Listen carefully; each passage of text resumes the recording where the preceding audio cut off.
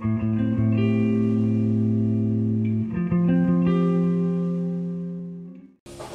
guys, it's Greg. It's day 19 and build shoulders today. We're moving right along week three, the last week of the build phase, and then we jump into the bulk phase next week.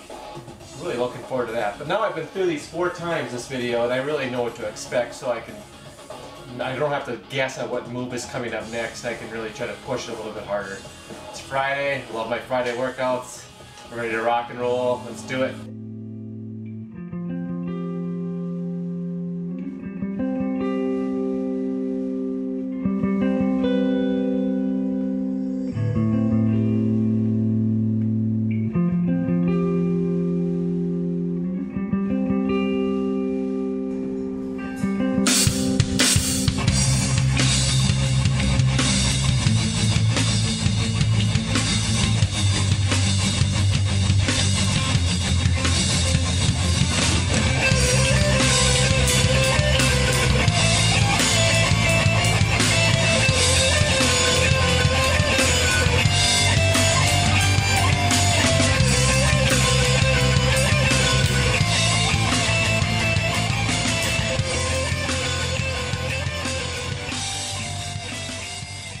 There you go. Day 19 is complete.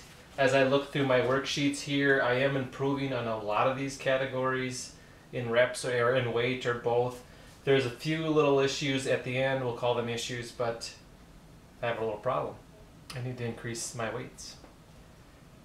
And the standing dumbbell shrug, I, I can do more weight, but I didn't have a heavier weight, so I have to take care of that. I have to add to my repertoire of of weights. And then as I look at the schedule here, we were, there's uh, two schedules, Lean Beast and Huge. Huge. He always says that, so I have to give him a little bit of a hard time. We're in week three, and this is day six or day five. I switched up just slightly. Shoulders and abs, and then we have cardio and abs, total body abs. That there's a combination or a little bit of a a choice there. And then we move on to the rest day and then week, or actually week four, and the second phase, which is the bulk. Bring on number 20, day 20, tomorrow.